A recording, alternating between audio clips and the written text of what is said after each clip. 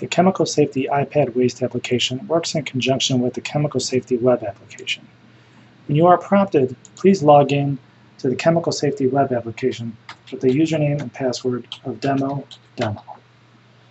By accessing the web application through the iPad application, you can view your item, drum, accumulation area, manifest, and tank records. Please visit us online at chemicalsafety.com.